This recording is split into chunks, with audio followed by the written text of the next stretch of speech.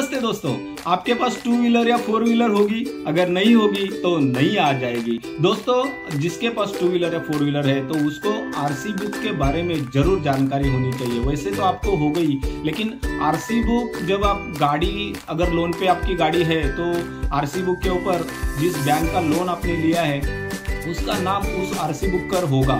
जब आपका loan clear हो जाता है तो आपको एक एनओसी मिलती है। वो एनओसी आपको आरटीओ में जाकर आपका एचपी कैंसलेशन करना पड़ता है। एचपी यानी हेल्पोथिकेशन दोस्तों, जब तक आप आप क्या आरसी बुक के ऊपर जो बैंक का नाम है, वो जब तक कैंसिल नहीं करते, तब तक वो आपकी गाड़ी होने के बावजूद भी आपकी नहीं रहती है। तो जल्दी से जल्दी अपना आरसी बुक चेक कीजिए, आपका गाड़ी का आरसी बुक चेक कीजिए।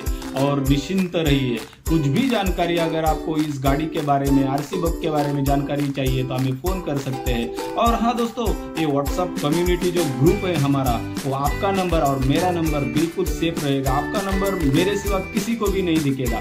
अगर ये हर वीक में मैं अलग अलग टिप लेकर आता हूँ, जानकारी लेकर ले आता हूँ, अगर आपके दोस्त को ये जानकारी ज़रूरी है। या आपके फैमिली में किसी को जानकारी या हर वीक में एक टिप लेकर आप नीचे दिया हुआ लिंक सभी को भेज सकते हैं और हमारे व्हाट्सएप कम्युनिटी ग्रुप में सहभागी हो सकते हैं। दोस्तों नेक्स्ट वीक में फिर से मिलेंगे एक नई जानकारी के साथ। आपका दिन शुभ हो। Thank you so much Santosh Patne, Ved motor थाना थैंक यू